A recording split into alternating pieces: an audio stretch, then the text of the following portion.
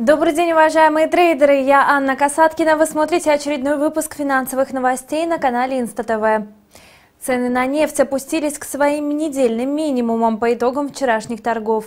Трейдеры по-прежнему надеются на то, что признанные состоявшимися выборы на Украине помогут снять геополитическое напряжение. Однако будут ли оправданы такие надежды – спорный вопрос. Пока же котировки легкой нефтяной смеси марки WTI опустились в цене к отметке в 102 доллара 83 цента США за баррель. На цену также давит укрепляющийся курс американского доллара и ожидание пересмотра оценки ВВП крупнейшего потребителя нефти в мире США. Некоторые эксперты уверены, что не только холодная погода, но и начало сокращения стимулирующих программ в первом квартале 2014 года при первичной оценке не были учтены в полной мере. Котировки на золото также подвержены давлению, что на руку покупателям драгоценного металла, которые используют низкие цены в целях покупок реальных слитков.